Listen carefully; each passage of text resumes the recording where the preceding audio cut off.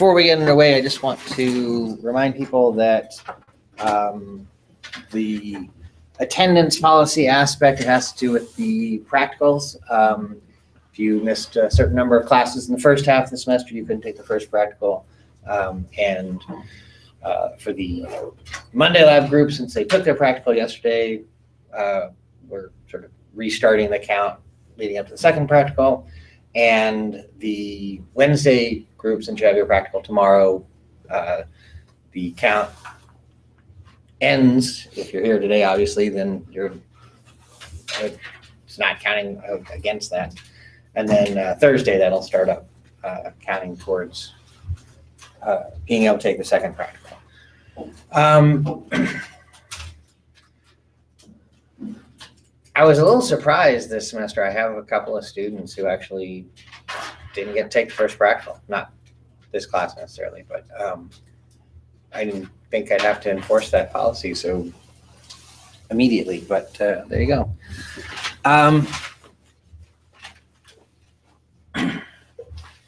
so uh, in the second half of the semester, we're starting. Um, well, yeah, we're starting the immune system chapter uh, which is finishing off the unit on transportation, um, or not transportation, circulation or whatever it's called.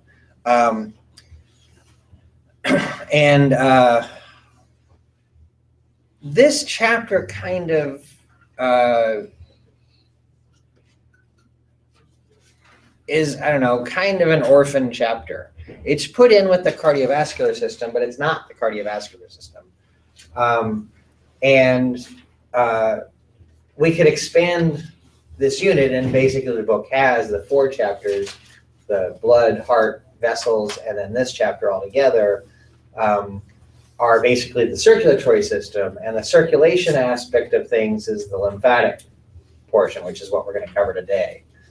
Um, but then the immune system itself is just this completely uh, unique aspect to this course. It's a system that uh, is really just functional. It uses parts from all the different parts of our body.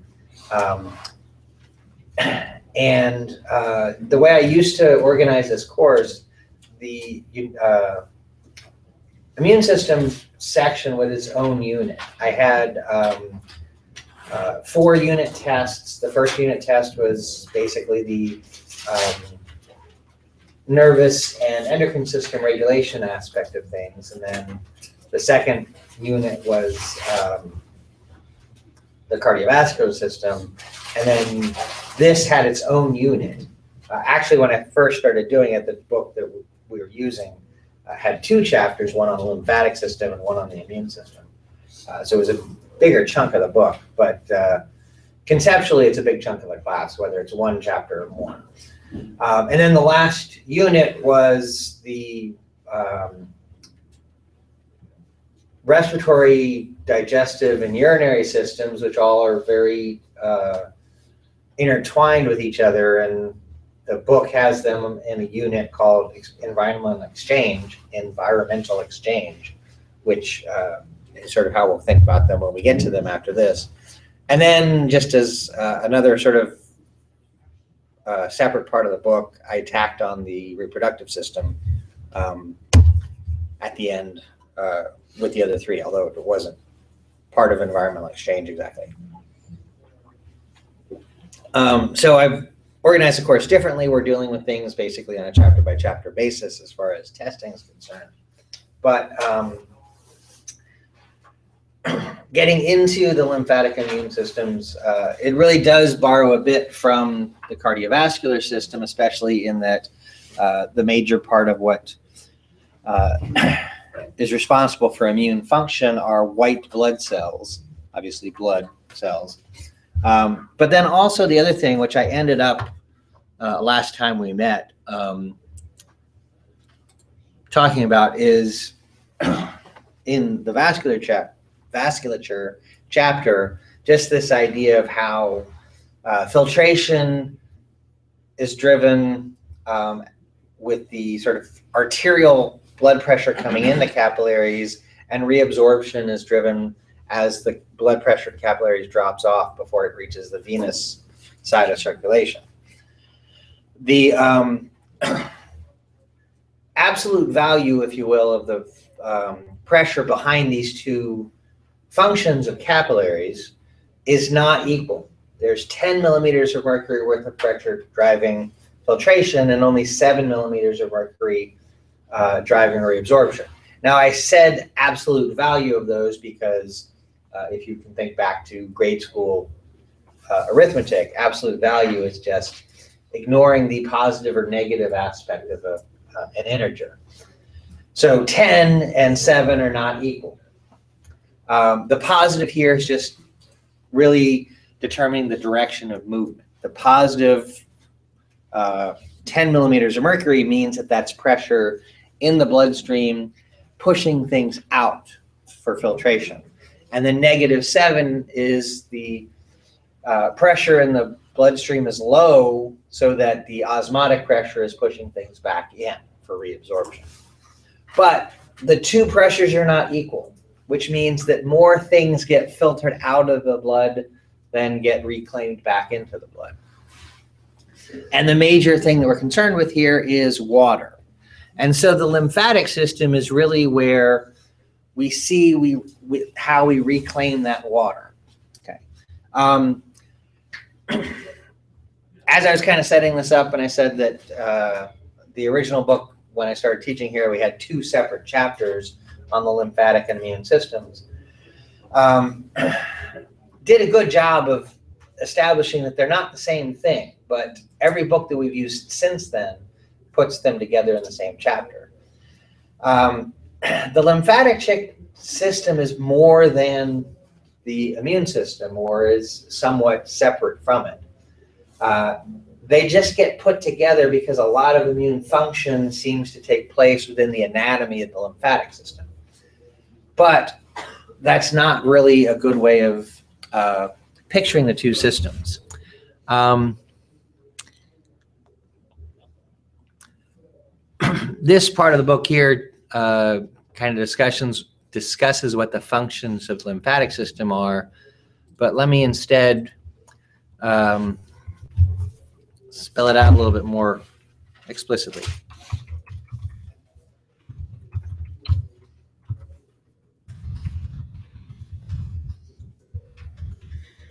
Its main function is to um, oh great what's the word i wanted here? Um, oh that's right. Um, drain excess fluid from uh, tissues. That's kind of an awkward way of stating it. Um, there are two other functions that I want to talk about with the lymphatic system, but before I get to those, let me explain what this drain excess fluid uh, is talking about. Um, and I'm going to try to do this somewhat graphically with what is really just a text field here. But um, in the blood, there is the fluid component, which is plasma. And uh, so that double line I've just drawn in there represents the capillary wall, if you will. On the other side of the blood vessel, so kind of go back to this picture, uh, the white space outside the blood vessel here um, has in it what is called interstitial fluid. Um, you could also think of that as extracellular fluid. It's just the fluid that fills whatever tissue the blood supply is uh, um, exchanging with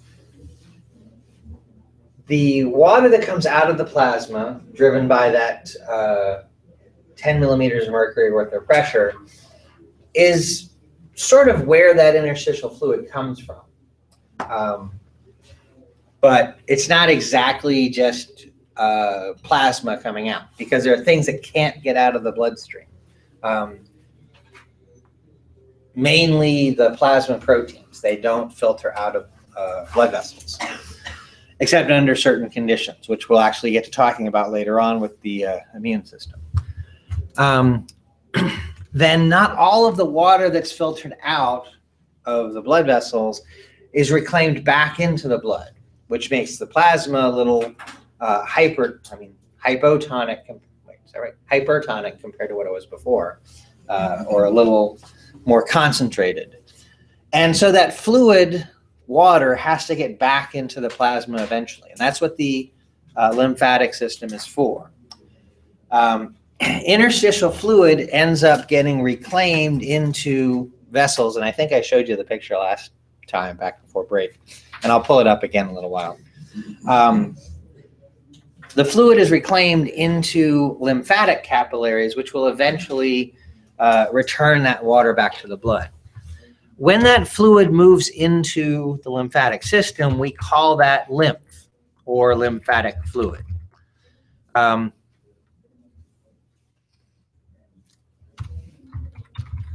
I'm just putting both terms there because you'll see them see it referred to as either of those things.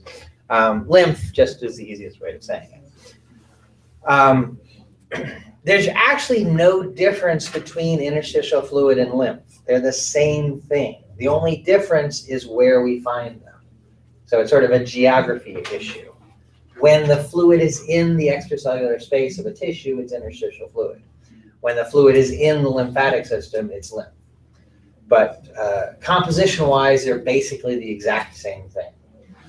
Plasma is different from them, mostly because the plasma proteins don't filter out uh, across the capillary wall. But they're all related uh, fluids. Now, I want to define one other uh, fluid, which is separate from all of this, or not separate, but um, sort of getting away from the, the filtering things out of and reclaiming uh, fluid. And that's called chyle. All that chyle is, is it's lymph plus lipids. Because the second major function of the lymphatic system is to transport dietary lipids. What that means is in the digestive system, when we're absorbing nutrients out of the food that we've digested, um, the lipids go into the lymphatic system. Everything else goes directly into the bloodstream. Eventually, those nutrients need to be delivered by the blood to your tissues so you can get glucose to your cells to make ATP or amino acids to your cells for them to make um, proteins. And then lipids need to eventually get to the cells too uh, to be used either for energy or for making uh, membranes or um, uh, steroid hormones, whatever it might be. There are a lot of there are a number of different things that lipids can do. However, we don't just automatically absorb the lipids into our bloodstream. They go into the lymphatic system. And then they get transferred to the bloodstream where the blood will take them to the tissues that need them. Why would lipids need to be handled differently from the other nutrient molecules? What's special about lipids? Lot of energy. There's a lot of energy in um, carbohydrates and amino acids. I mean, granted, there's more in lipids, but there's something that's definitely unique about lipids.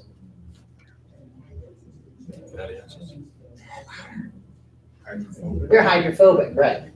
When you hear lipid, you should always immediately think hydrophobic. Because that's their defining principle. It's why we have cell membranes. It's why uh, certain hormones have to be transported in the blood by something else, and their uh, receptors are inside the cell. There's always going to be a difference about things. Lipids are hydrophobic, everything else is hydrophilic. Okay.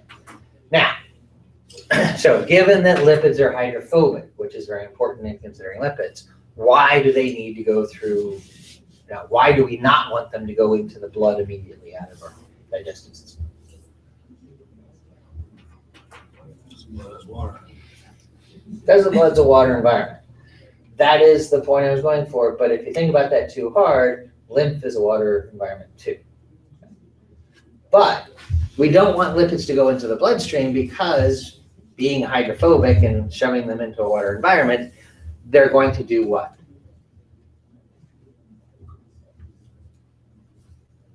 Put that in words. You can do it. Raise blood pressure. that's a little indirect, but yeah, eating too many lipids can affect your blood pressure. But what are they going to do in the bloodstream if you throw them in there? Let's take a syringe filled with lipids and just inject it into your bloodstream. What's that going to do? Clump up. Hmm? Clump up. Clump up, right? It's what we call a fat embolus. It's effectively the same thing as a blood clot as far as circulation is concerned. It's not a blood clot. A blood clot is, Uh, you know, fibrin mesh like we learned in the. But a fat embolus and a blood clot or a platelet plug, any of those things, are going to have the exact same effect on the cardiovascular circulation, which is to plug up a blood vessel and potentially cause a stroke or a heart attack or where whatever, depending on where the, the blockage is. It's going to block circulation. So you don't want dietary lipids to go right into the bloodstream because they're going to mess up the blood's very important function of delivering oxygen to tissues. In the lymphatic system, dietary lipids can be processed and uh, associated with carrier proteins so that they can eventually travel through the bloodstream safely. Those carrier proteins that we find carrying lipids in the bloodstream are called lipoproteins. Okay. Um, you've probably heard reference to lipoproteins, but not necessarily by that particular name, because you've probably heard them in reference, heard them referred to by their common abbreviations. There are two common lipoproteins. There's high density lipoprotein and low density lipoprotein. Now, how would you abbreviate those two things? HDL and LDL. Yeah, HDL and LDL. Where have you heard of those? Good and bad cholesterol.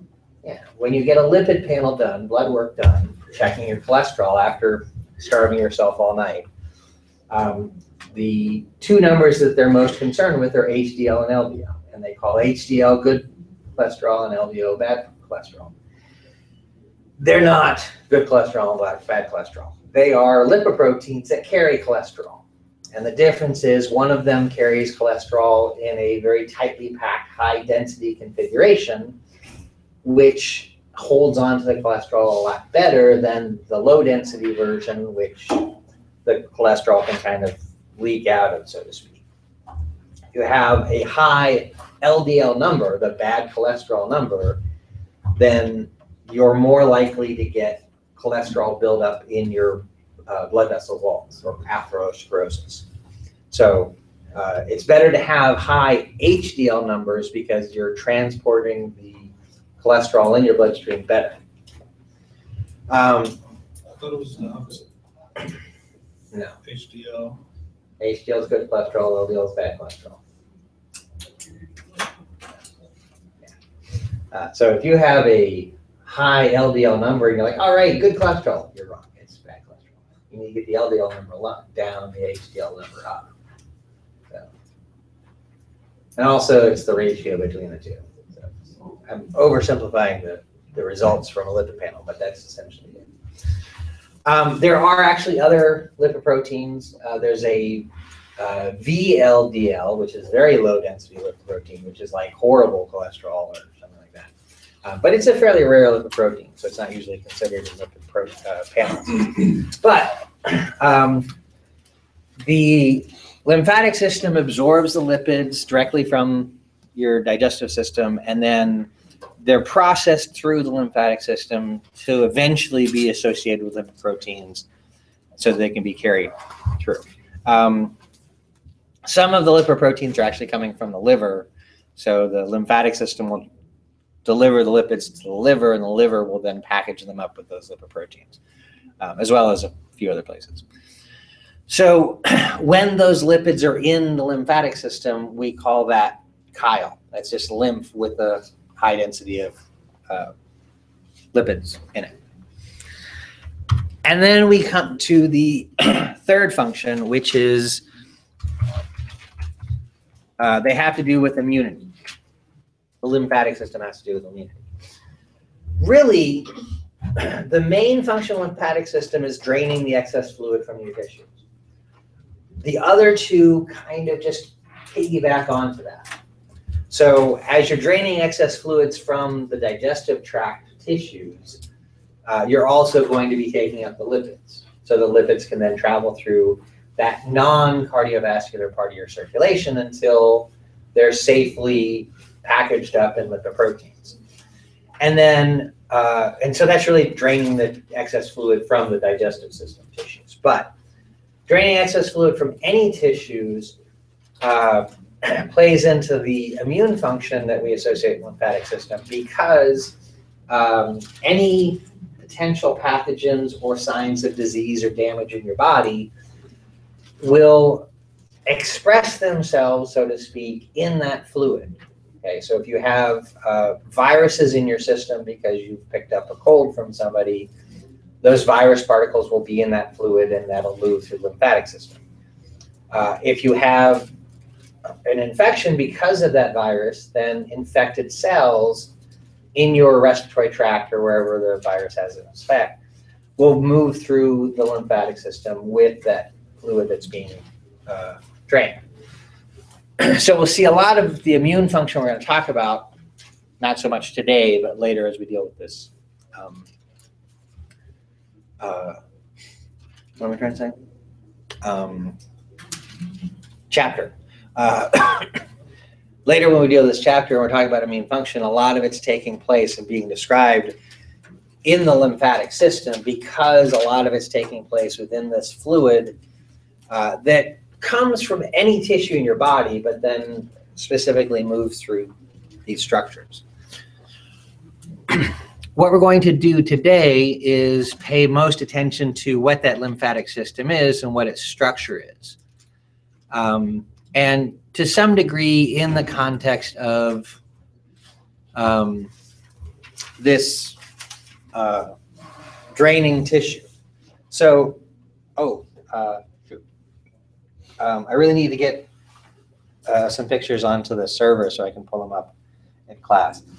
This is a picture of the book showing the basic structure of the lymphatic system. Um, we associate the color red with arteries and blue with veins and yellow with nerves. Uh, get used to also seeing green, which is for lymphatic system.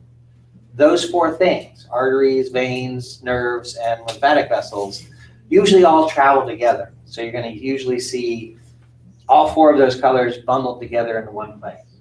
Uh, sometimes you don't. That doesn't mean that one of them's missing. That probably just means that the, the model or picture you're looking at left one of them out. But generally speaking, you should see all of those things together, whether it's running through the central canal of an osteon in a bone, or uh, we'll see how those types of structures uh, get to digestive system, digestive tract organs. There's a special conduit for them. So when you see green, think lymphatic. Um, now, uh, when I pulled this picture up and I realized I need to put corrected pictures on uh, the server so I can pull them up in class, it's because there's a problem with this picture. And I've sent a corrected version to the um, OpenStax people and hopefully they'll update it. But updating figures takes them uh, like four or five months, so it's not going to be up in time for us to deal with. But um, this little circle here, uh, they say is an inset to this structure here, but that's actually, this is not what the inside of this organ looks like. But what I do want to use this inset for is, this just shows um, capillaries that are going through tissue. So all these little circles with the blue background, that just represents some tissue and the cells of that tissue. And then the red conduits are the capillaries bringing the blood through. Again, water is filtering out of that at a higher pressure than water is being reabsorbed back into the blood vessels. And so in green, we see um, lymphatic capillaries, which are taking up that excess fluid.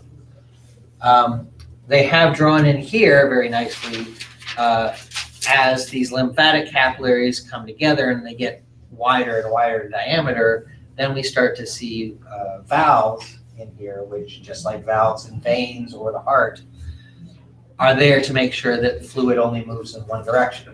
So these capillaries here, uh, which are closed capillaries, it's the, it's not a uh, circulatory system like cardiovascular system with arteries with capillaries to veins. It's capillaries feed into everything else, and they actually originate in the tissue. And so they draw the fluid up into them, and then eventually that fluid will move past a valve, and it can't get back into this tissue. And it helps to uh, make sure that the fluid drains out. Um, so that's what's happening down at the microscopic level. But then as those lymphatic vessels come together, uh, they make up larger and larger um, tubes that are draining that fluid out of the extremities and all of the tissue, and eventually going to, it's going to get all of that back into um, the cardiovascular circulation at the subclavian veins right there. Now, in this picture, they can't have drawn in all of the uh, lymphatic vessels, just like if we had a picture showing you the cardiovascular system, you wouldn't see all of the arteries and veins and capillaries drawn in because it would just fill the whole thing. So places where you see no green stuff drawn in, like uh, this area right here, up here, that's not to say that there aren't lymphatic vessels there. They just simplified the picture a little bit. But draining from any of the tissues all over your body um, are these vessels that come together eventually. Um, oh, another problem with this picture that I fixed and pointed out to them. Uh, this thing that's colored blue right here really should be green because it's still part of the lymphatic system. And they didn't label this structure right here. Um, this structure is what's called the uh, cisterna chyli. Let me just write that on the board. Uh, it's elsewhere in the book. But for the sake of. Why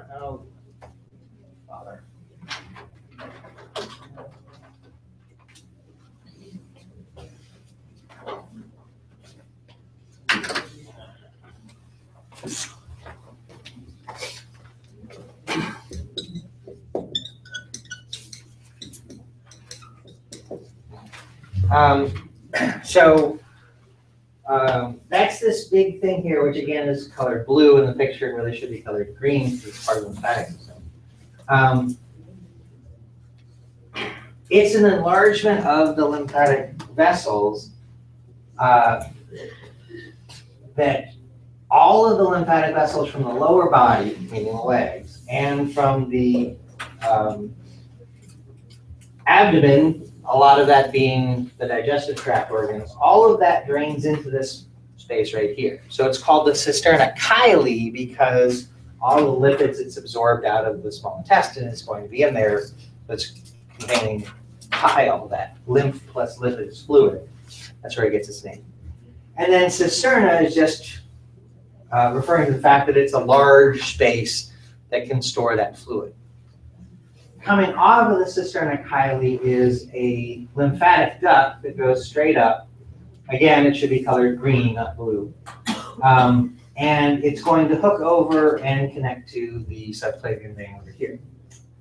Um, the cisterna chyli, which is draining everything from the lower body and the abdomen, especially the digestive tract, all of that feeds up into the left subclavian vein.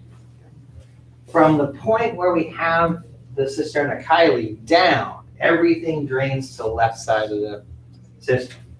From the cisterna chyli up, the right side of the thorax, the right arm, right shoulder, right uh, neck, and right head all drain into the right subclavian vein. And the left thorax, left arm, left shoulder, left neck, left head all drain into the left subclavian vein. Um, there's a figure I'm going to show you in a little bit uh, that sort of shows the difference of what's drained to the right side and left side.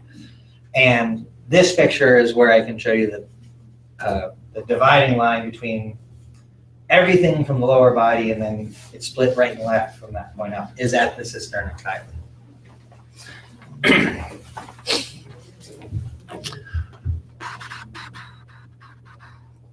Let's see. Oh, um, this picture here just shows how the lymphatic capillaries work a little bit better. Um, so again, where we have uh, a capillary bed they're lymphatic capillaries that are closed off. They're not draining from somewhere else. They're absorbing all of the excess fluid from this tissue and uh, carrying it out. The way that works is actually a fairly simple but very elegant um, structural relationship between these types of vessels. Um, so again, green represents the lymphatic system. So these green things are the cells that make up the wall of lymphatic capillary. And the capillary, again, is closed off here.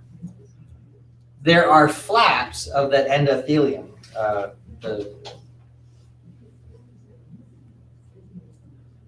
you would think after spring break I wouldn't be dropping words so quickly. Um, the lymphatic capillary endothelial cells here uh, are connected out into the surrounding tissue by uh, these little collagen fiber tethers. And uh, then we have the tissue cells represented here, just amorphous cells, whatever they are, with blue space in between them representing where the interstitial fluid would be. As that interstitial fluid fills with the uh, water that's been absorbed or filtered out of the bloodstream, the tissue will swell and all of the parts of the um, tissue will basically move away from each other as the volume of interstitial fluid goes up.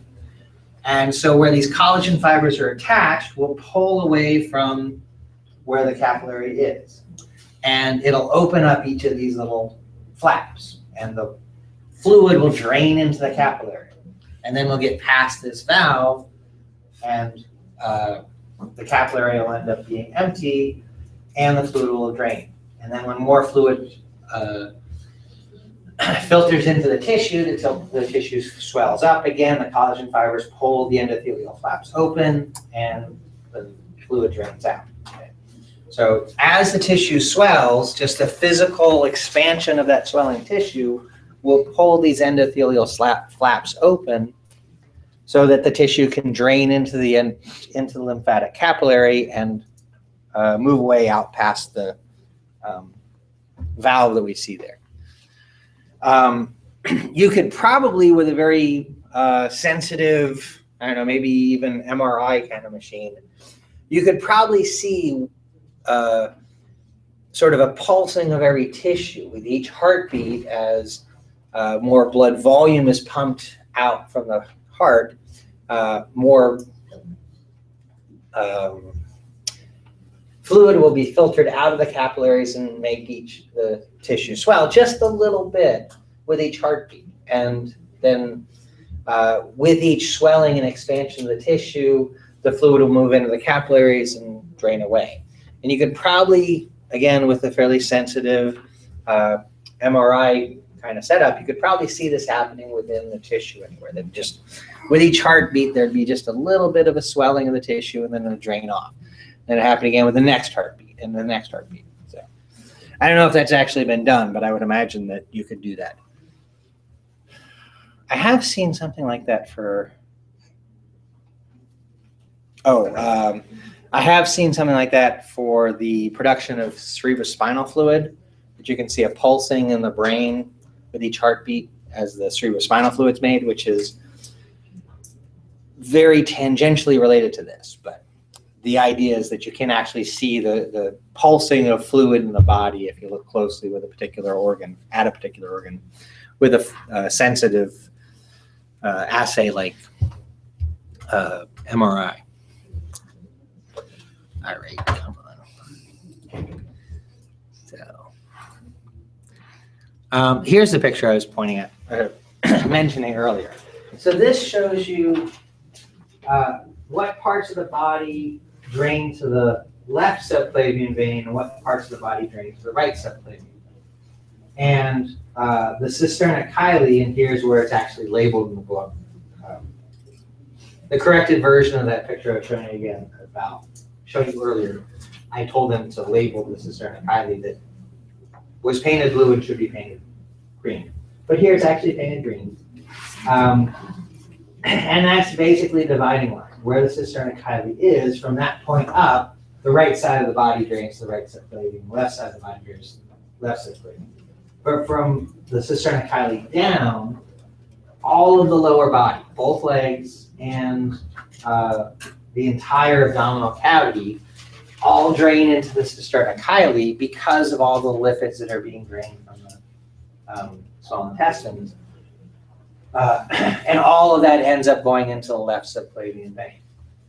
Um, in this picture, there are a couple little green things uh, extending away from the cisterna chyli, which was is actually showing how things drain in.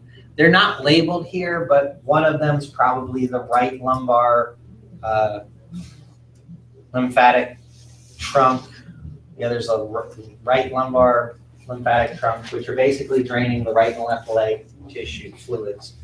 And then they only show a third one here, but there's probably a few uh, branches of the intestinal trunk, which is draining all the um, lipid-rich fluid from the digestive trunk, digestive tract. Um, so all of that's draining into the cisterna chyli there, and that's why from that point down, all of the body drains together. It's from the cisterna chyli up that there's actually a separation between right and left. So cisterna chyli in the thoracic duct drain to the left along with um, vessels coming from the left uh, torso, arm, head, and neck. And then the right torso, arm, head, neck all drain separate. If you look closely at these two little inserts, there's a nice thick thoracic duct coming in on this side, which is what's drawn in green down below.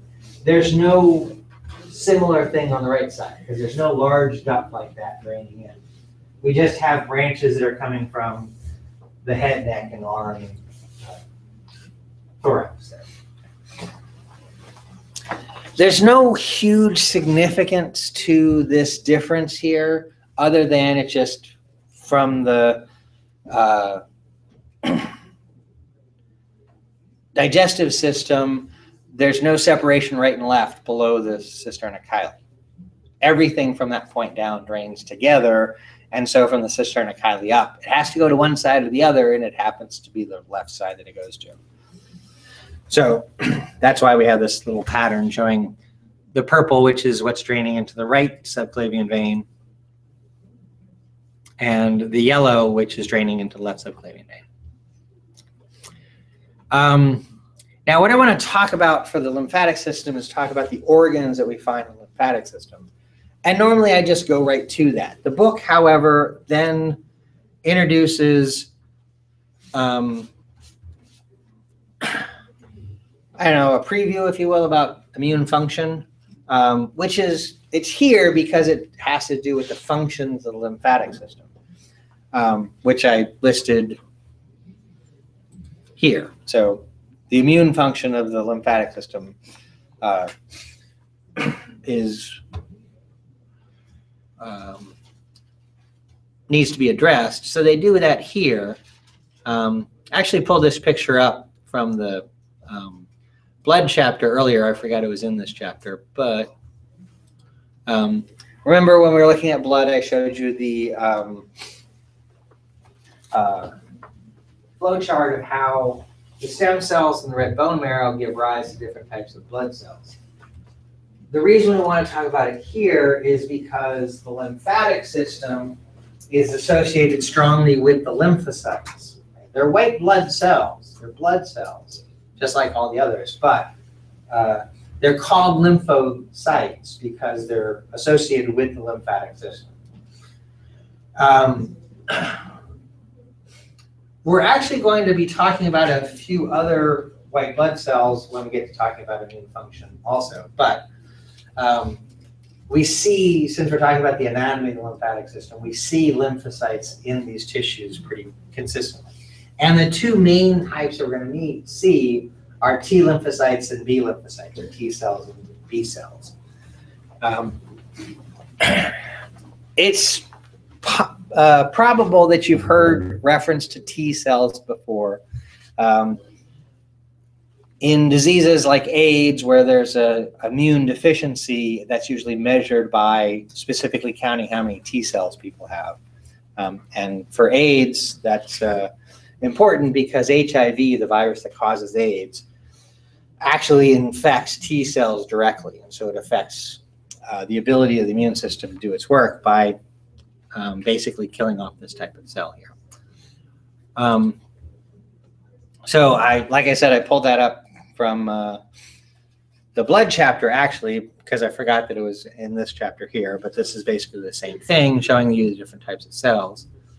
Um, and we will uh, talk about all these types of cells in more detail later on, but uh, just since it's covered in the chapter here and the types of cells are kind of relevant to the structure we want to talk about. B cells are responsible for uh, making antibodies. Um, and then T cells are responsible for interacting with uh, diseased and damaged cells in your body. Plasma cells, which I would have preferred that they put right after B cells, are just a um, differentiated version of a B cell. Um, they're called plasma cells because they secrete um, antibodies into the plasma for the most part. So when we're talking about plasma proteins, there's albumin and uh, um, globulins and fibrinogen. One type of globulin is a gamma globulin or a uh, immunoglobulin, which is also called an antibody. And plasma cells are the cells that make that secreted into the plasma. But they are really just B cells uh, in their sort of fully differentiated form.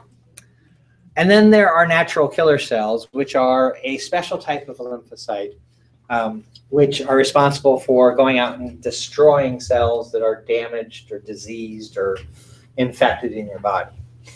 Um, and we'll meet them later on.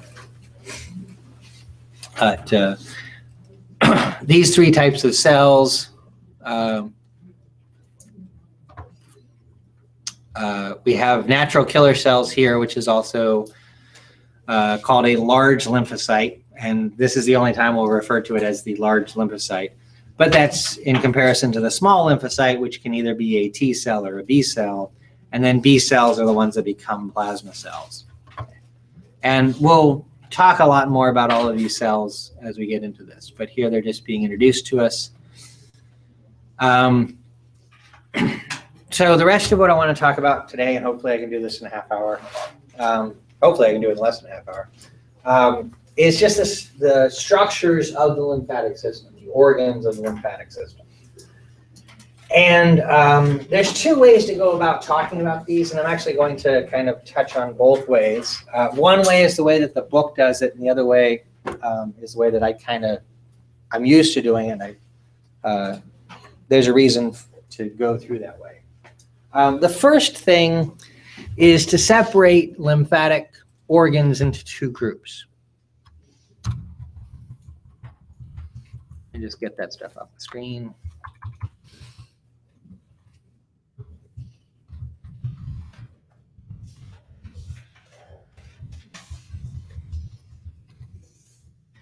There are primary oops, lymphatic organs, tissues. Um,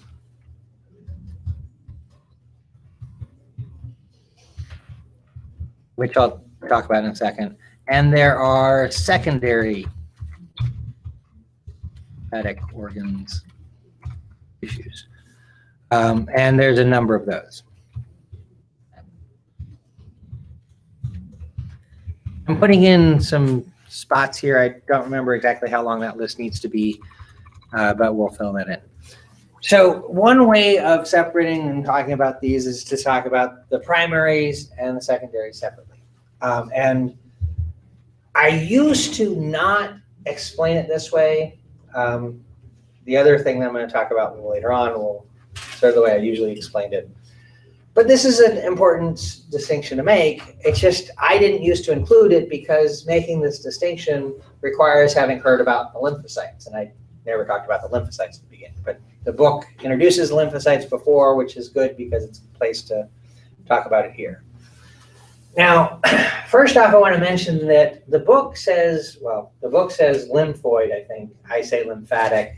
I don't really care about whether there's any grammatical difference between those two words. Um, I'm just used to saying lymphatic.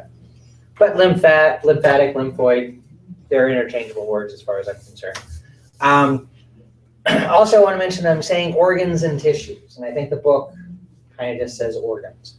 Um, but truthfully, uh, when we're talking about the primaries, one of them is an organ, the other one's a tissue found inside another organ. So it really makes more sense to say organs and tissues. So the first thing is red bone marrow, and that's the tissue.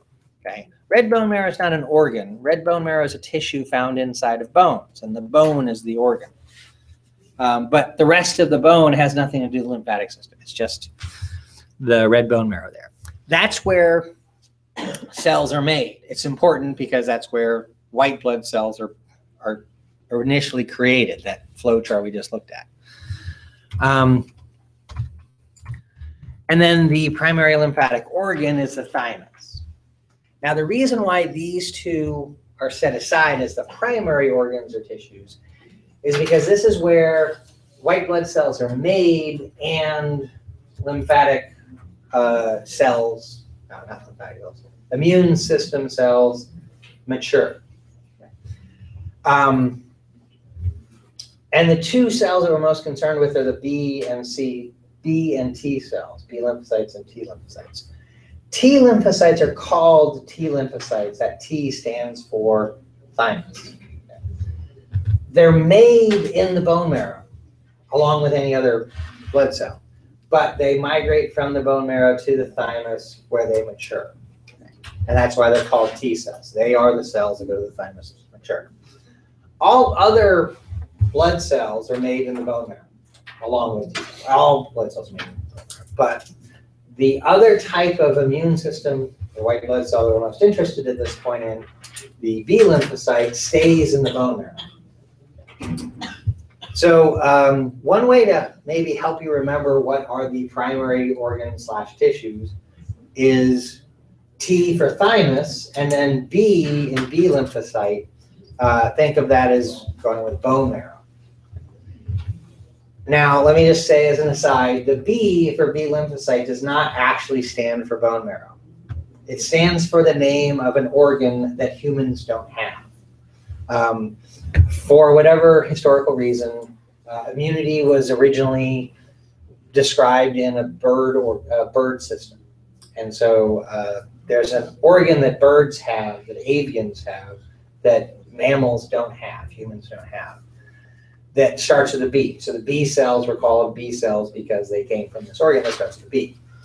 I'm not going to tell you what that organ's named. If you're very interested in it, you can look it up. Uh, if you take uh, microbiology, they talk about it there because that's not human microbiology, that's just microbiology. But since we're human anatomy and physiology, I'm not going to mention what the B actually stands for because what we want to do is just think of B as standing for bone marrow.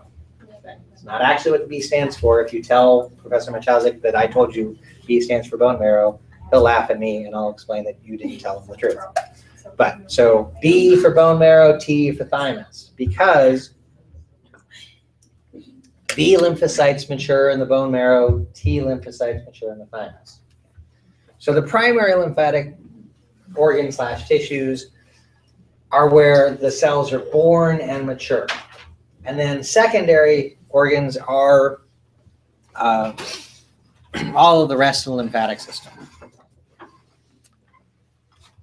So, um, like I said, I put this list in here. I mean, these uh, spots in here. I'm not quite sure how many I need. Um, so, the sort of most important of the lymphatic organs, secondary lymphatic organs to talk about, are lymph nodes. And that's where I want to start. The book actually doesn't start with those, but I'm going to start by talking about the lymph nodes. And then there are tonsils. Um,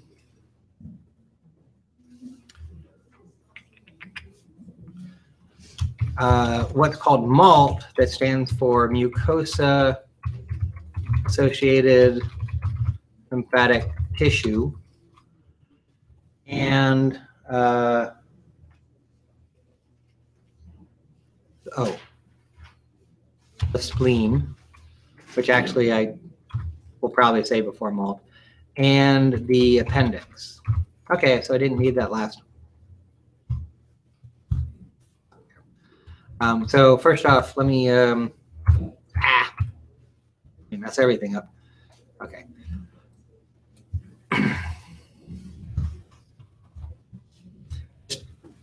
The order that I'm going to talk about things, I'll put the spleen before malt.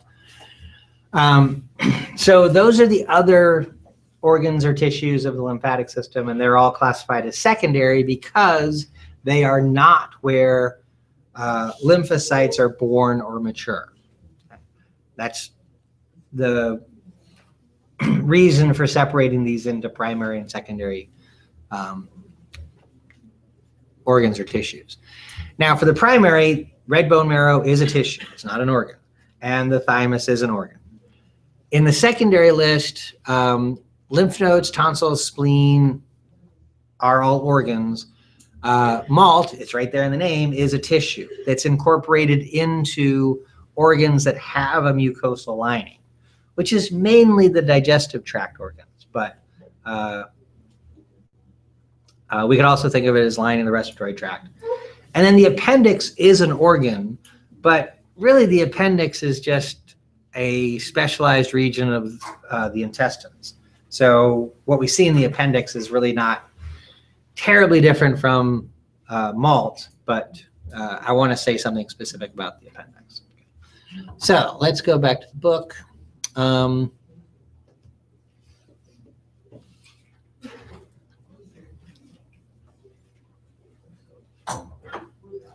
oh, good. The book does deal with lymph nodes. They might have changed this over the since I've been using this book, but because it used to start with tonsils, which always bothered me. But um,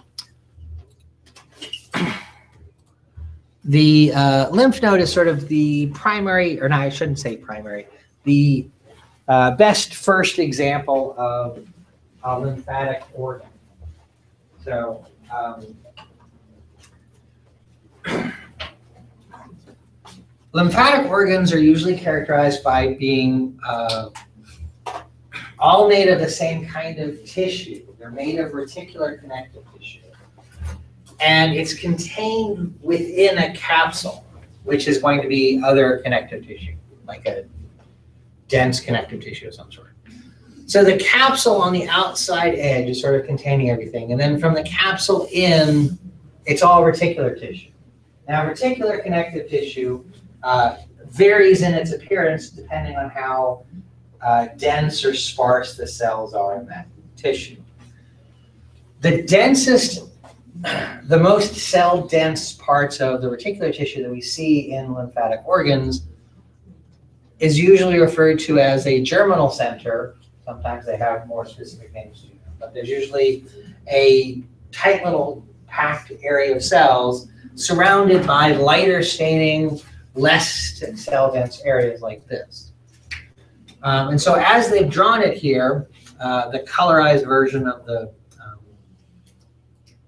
lymph node here, the germinal centers are sort of packed in here, and you can usually see a slightly different appearing region of tissue in the middle of that, um, which isn't necessarily a less dense cell packing area, uh, just different cells that are found there. Um, I don't really care that we know exactly what cells are found where, and I can't remember now if this book even goes into that. But uh, B cells are found in certain areas, T cells are found in other areas, and certain other types of white blood cells are found scattered around. But all of those cells are kind of uh, packed most closely together in these areas here, surrounded by a less densely packed area.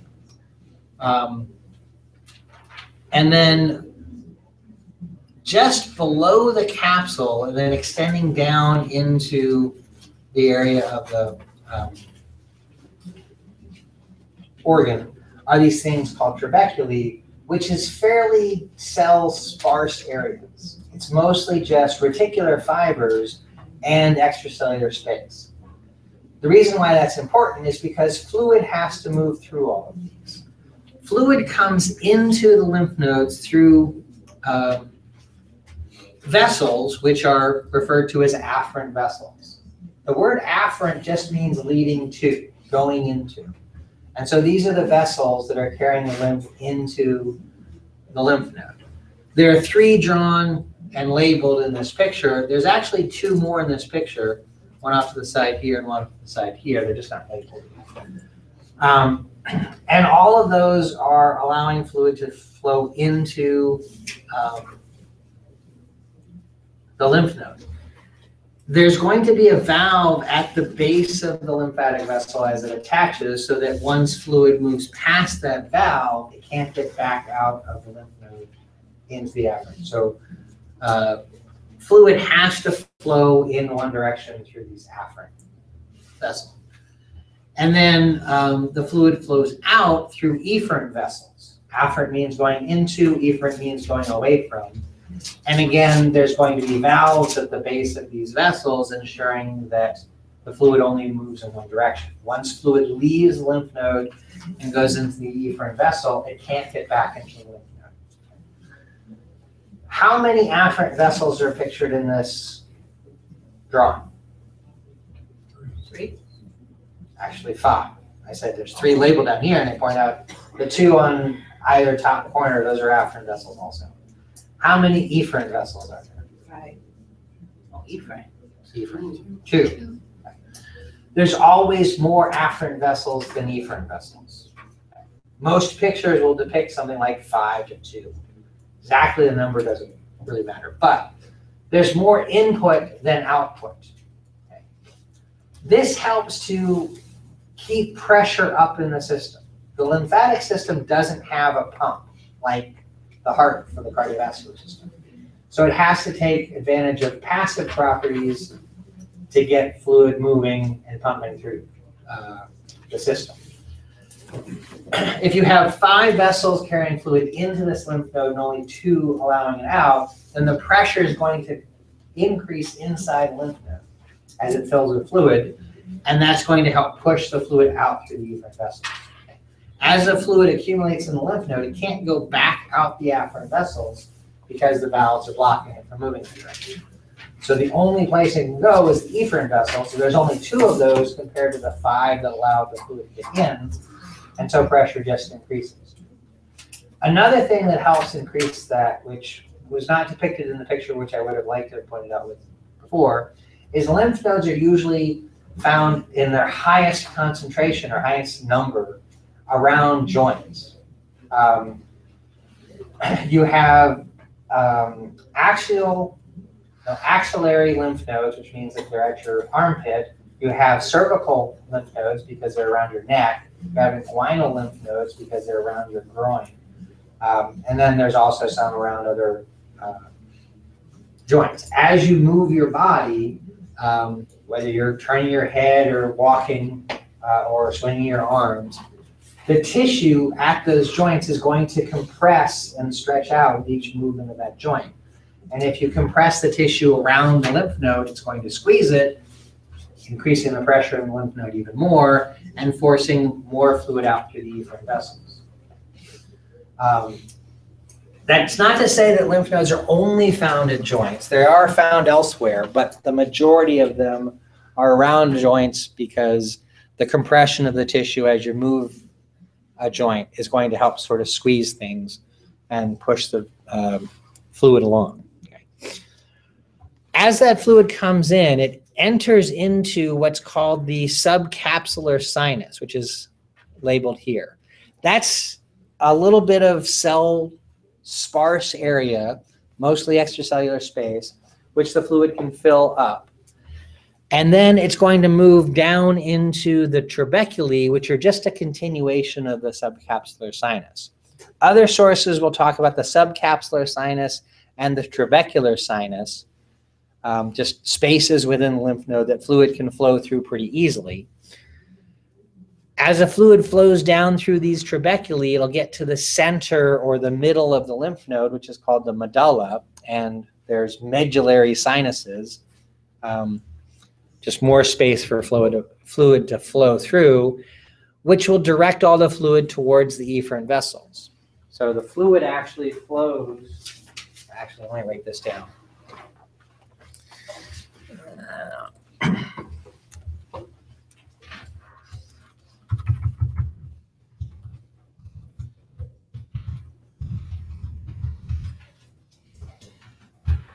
So um, fluid enters through the afferent vessels to the uh, subcapsular sinus and into the trabec- trabecular sinus, then to the medullary sinus, which is not uh, the trabecular sinus and the medullary sinus. I don't think are labeled in the pictures in the book and then to the efferent vessels. Fluid has to flow that direction through things, just the way that things are set up. If you have a lot of extra fluid thr- flowing through your lymphatic system, um, which happens when you have an infection, then the fluid will uh, seep into the more cell dense parts of the lymph node. But primarily it's going through this area, especially when you're not fighting off an infection. and You have normal fluid levels in your system.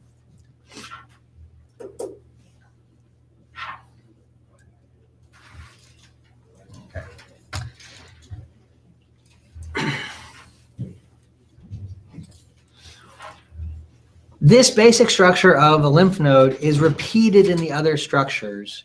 Um, and so I want to kind of talk about the other structures in terms of how they're similar and different to lymph nodes and how that informs us about what they do.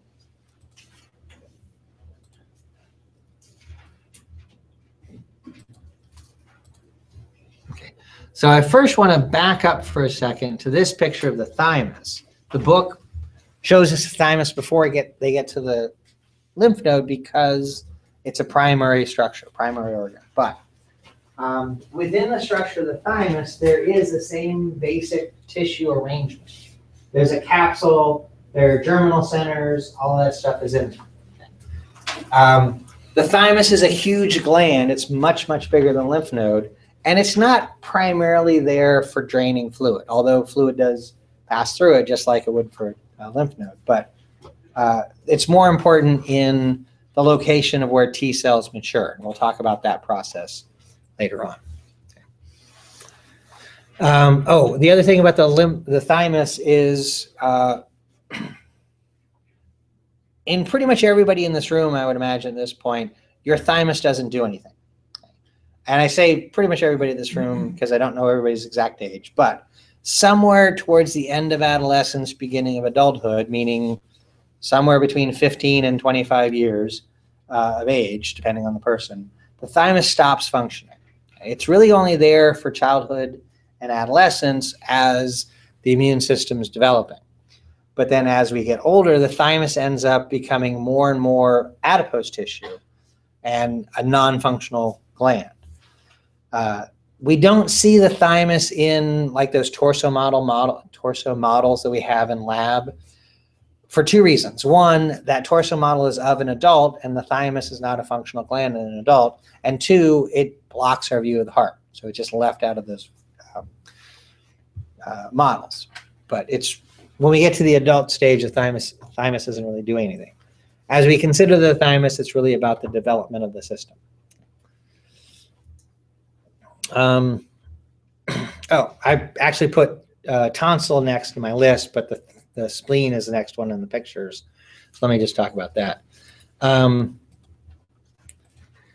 so the spleen is located in the upper uh, left quadrant, um, just adjacent to the um, diaphragm and sort of, uh, well, the, the curve in the large intestine that goes back by here, sometimes referred to as the splenic flexure. And then the, the tail of the pancreas is going to be right there too. Um, and then what we don't see is the stomach sitting in front of that, which sort of fits into that part of the spleen. Um, under the uh, microscope, what we see is very similar to the structure of a lymph node. We have clustered cell dense areas um, and cell sparse areas like the trabeculae that we mentioned. This particular um, micrograph doesn't show us the edge of the spleen, but it has a capsule and a subcapsular sinus and all of that. Um, so the spleen is kind of like one big lymph node. However, what's really different about it is that it doesn't have afferent vessels coming into it. Instead, it has a splenic artery bringing blood into it. the capillaries between the splenic artery and the splenic veins are practically non-existent. They're sinusoidal capillaries at best. Really, the blood that comes into the spleen just perfuses through the whole organ. Um, because the spleen is really primarily a filter for blood. Um, and um, where the uh, blood sort of perfuses through the tissue, we call that the red pulp. And then there are some areas where there's not a whole lot of blood uh, collecting, and that's what we call the white pulp, which is uh, consistent with what we've called germinal centers before. It's where white blood cells cluster within the spleen. And those white blood cells will play a big role in immune surveillance, watching uh, potential pathogens that move through the bloodstream directly. It's also a location where we clear away old red blood cells as they've lived out their 120 day lifespan, that kind of stuff. Um, and then any other kind of debris or whatever that might be passing through the bloodstream. All that gets filtered out in the um, spleen. So the spleen's kind of like one big lymph node, but instead of processing lymph, it's actually processing blood, but for the lymphatic system. And then the blood drains away through the uh, splenic vein.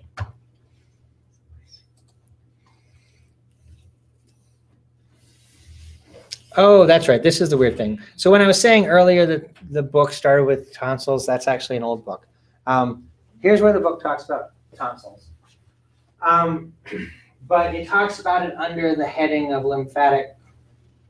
shoot, Forgot what the term was. Um, lymphoid no- nodules. So a nodule is just a little cluster of um, lymphatic tissue, which you can kind of say that's what a, a tonsil is. There are other structures besides tonsils that fall into that group. And actually, it moves into that MALT that I'm going to talk about next. Uh, but the tonsils are uh, lymphatic nodules that are exposed on the surface. Um, and I'd almost call them a separate organ rather than just uh, structures of tissue.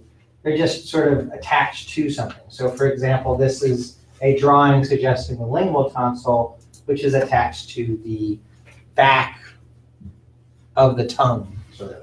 So the black and white lines here are representing the muscle structure of the tongue, and then here colored in is the um, lingual tonsil. The palatine tonsil is found in the uh, soft palate, roof of your mouth. Um, there's also a pharyngeal tonsil found where the nasal cavity opens up into the pharynx. Um, and then, uh, I guess those are the main tonsils.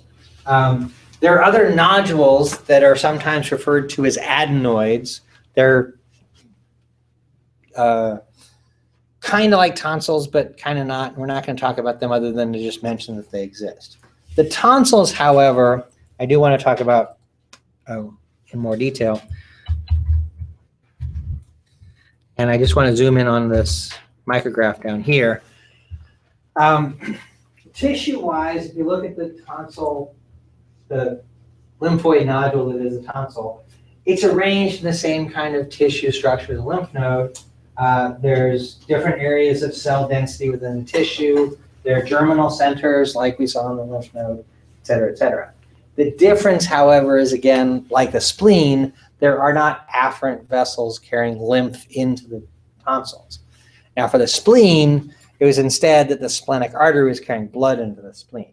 For the tonsils, there's not afferent tissues because the fluid that's getting into the tonsils is really fluid that's uh, being absorbed across the capsule of the um, organ. Um, now, this is a knife cut here, this flat edge, but you can see this little crevice coming down in here, and it's lined with an epithelium. Uh, and so fluid that gets down into this crevice gets absorbed across here, and then that can move on. Um, that crevice is what's called a crypt. And there are a lot of crypts in your tonsils. Um, actually, let me go up here. Um, as they've drawn this uh, pharyngeal tonsil, these kind of folds here uh, and have a lot of crypts coming off of them going deeper into that tissue. Um, tonsils are arranged around the opening of the nasal and oral cavities, and they're primarily responsible for sur- uh, immune surveillance of airborne and foodborne pathogens. So if you eat some food that has, let's say, E. coli in it, God forbid, um, a little bit of that food is going to work its way down into a crypt. And the E. coli bacteria that uh, we're suggesting are part of that food will find a nice, warm, moist place to reproduce. Okay? Um, it's a nice neighborhood, great schools, great place to raise a family, all that. What they don't realize is that their neighbors on the other side of the fence are white blood cells that are there to kill them. Okay?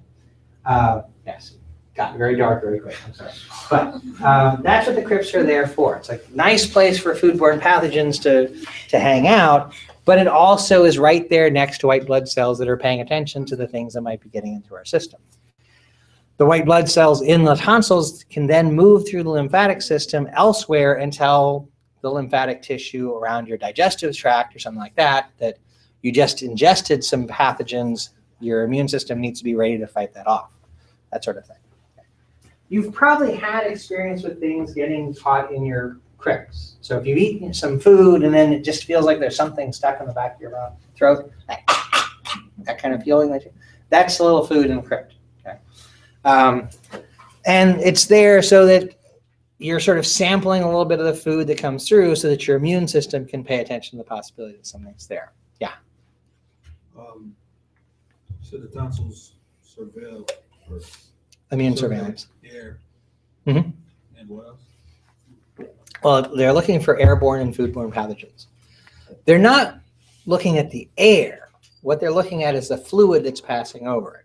So foodborne pathogens very easy because the food you're eating is dissolving into saliva. For airborne pathogens, the way that works is when you inhale air, um, any particles in the air that you inhale will end up getting dissolved into the mucus, that stuff. And then that drains from your nasal passage across the pharyngeal tonsil, and then the mucus goes down your throat. And so any pathogens that are caught in that mucus will pass over the pharyngeal tonsil. And the same thing will happen there. There's crypts and all that stuff there. So. Um, question or stretch? Just a quick question. Um, is there any specific reason why a lot of people have their tonsils removed? Like, So um, the tonsils and the appendix, which I'm not going to get a whole lot of time to talk about, uh, get removed often because their immune system function is to be this sentry looking for the possibility of uh, infection. And the infection gets into the tonsil or the appendix. And um, in old days, before medical science gave us the ability to have tonsillectomies or appendectomies, um, if the infection got to the point where it overtook that organ, you would die. Nowadays, uh, those organs are sort of there as our last chance before medical intervention can take place. And hopefully, you know, you have your tonsils or your appendix removed and you get rid of that particular infection, and then you're not going to be faced with the same sort of problem in the future. so you can have your tonsils forever as long as it doesn't. Right. I've never had my talking No. tonsils taken out. So just a matter of if you've been in a situation where the tonsils are such, so inflamed. And I don't believe these days they take tonsils out so much. Um, I think they t- tend to leave tonsils intact.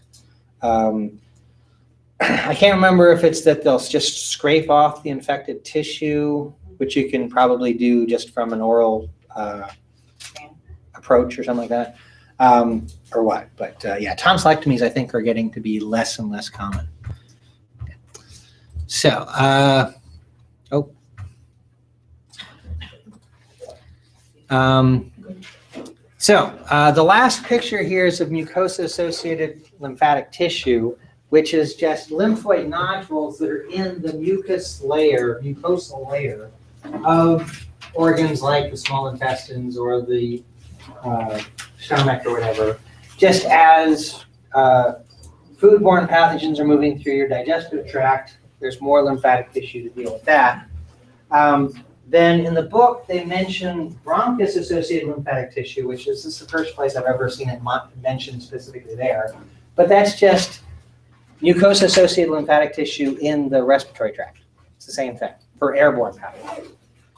Um, if there were a picture of the appendix, this could basically be it. The appendix is just a little special worm-shaped thing. It's called the vermiform appendix, which means worm-shaped little piece of this large intestine. Um, you probably learned that it was a vestigial organ. You were lied to. It's not a vestigial organ. It's just it's been re uh, re imagined, if you will. I, uh, the word I want to use is a saving there. Um, in non-primate mammals, there's a big part of the large intestine that does something that we as primates don't need it to do. Um, our appendix is essentially a thing that an uh, an animal like a dog uses to process uh, plant fiber based food.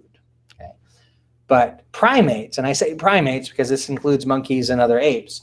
Um, our diet is based on eating a lot of vegetable products. Okay, monkeys and trees will eat things. Uh, apes will eat uh, leaves and whatnot. So our large intestine can process plant matter on its own doesn't need that thing that dogs have or cats have to process that. And it's become the appendix. And so it's really just an area with a lot of mucosa associated lymphatic tissue that helps us regulate the presence of uh, bacteria that live in our large intestine that help us digest that plant matter. Okay. Um, you can have it removed, but it's not a vestigial organ. Okay. Um, if in grade school you learned that because they said, oh, you can have your appendix removed, why didn't they teach you that the spleen or the tonsils are vestigial also because you can have those removed? Okay. Same, it just you take them out because they've become infected, but they were there doing a very important job keeping you from dying. So uh, I just wanted to finish off that thing about the appendix before we close up. Uh, then we'll continue on from here talking about immune system function. And uh, the Wednesday group uh, tomorrow, lab practice.